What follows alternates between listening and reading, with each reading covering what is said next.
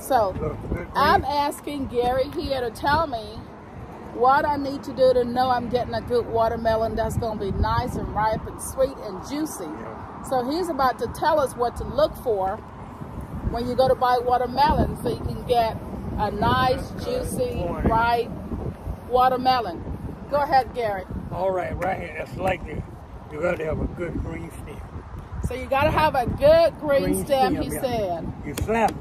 You slap it like it's doing it. right now. The sound of it is what you're looking for. You got a hollow sound, and then you got a solid sound.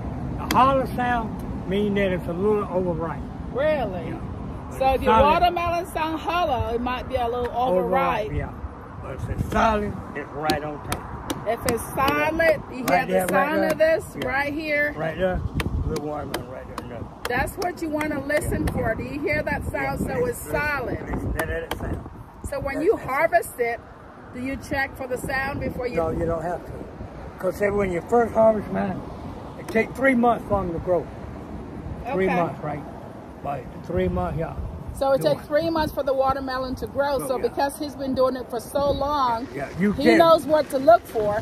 The average person, the untrained eye and person, may need to, to, to tap it to see what kind of sound it makes. Yeah. But just from looking at it, because he's been doing it for so long, Just for he ain't got to do all that. no, you don't have to do all But the untrained person like you and I, Yeah. you need to Yeah. tap it.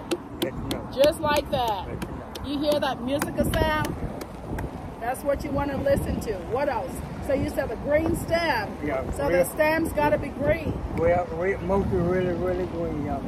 Something else. It don't have to be fairly all the way green, because, you know, something uh, Yeah. like this, something like this, like that, uh, yeah, that's, that's good. That's good. Right? So as long as stem ain't dry and brown.